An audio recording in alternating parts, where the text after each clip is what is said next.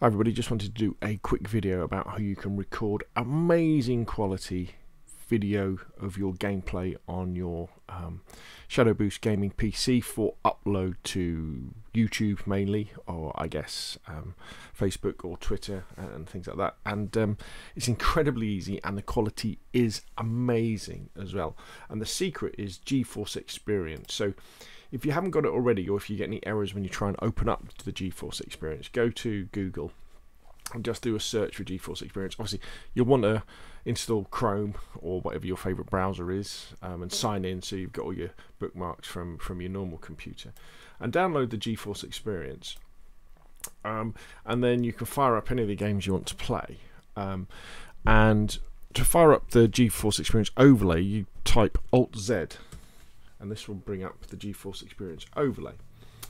Um, this is and this is where kind of the mechanics of everything happen. So what you want to do is if you if you click on record, but go into settings down here, you can set the quality that you want to record at. Um, so resolution, whatever the game resolution is, or 1080p, um, 4K if you wanted to. 1080p is is normally pretty good. Um, at 60 frames a second, or in-game resolution actually is pretty good. 60 frames a second, um, which is probably the high setting. Yeah, that that's that's really good for YouTube. You know, 1080p, 60 frames per second. That that will give you a very nice looking uh, file. Um, and you can save that. Now, the other thing that you can do as well, and then basically you fire up the game, uh, press Alt Z, come here, and just press Start. Or if you just if you do press F Alt with F, uh, F9 at the same time, it will start recording. Um, the other thing you can do as well, so if we just shut down that, if you go into your uh, GeForce, uh, if you go into your Shadow uh, control panel here, if you go to USB uh, peripherals, you can plug in uh, a USB mic to your laptop or, or, your PC, and then that can then be controlled and be used in the GeForce experience as well.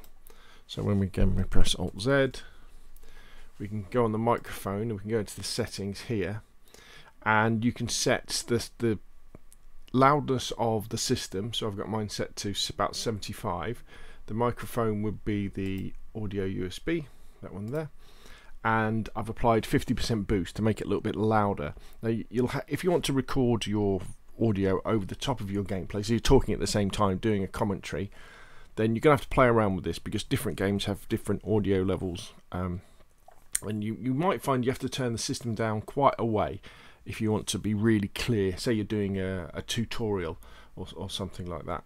But once you've done that, it really as simple as of just pressing um, just pressing Alt Z to, to bring up the GeForce experience and pressing Start, or as I say, you can just press Alt and F9 and it will start the experience. Now, once you're done, it will save it in your videos and it will save it you know against the the name of the um, a name of the game and then what you can do is you can then go to your YouTube account um, and then just just upload it. And remember it'll be using their bandwidth and their internet connection so the uploads are really quick even for quite massive files. The only thing you've got to watch out for and this is kind of the Achilles heel of um, shadow gaming PCs is the size of your hard drives because they're not that big. Um, when you start off, you just get a 256 gigabyte SSD, and I think it's for another three pounds a month. You get another 255 gigabytes of hard drive space.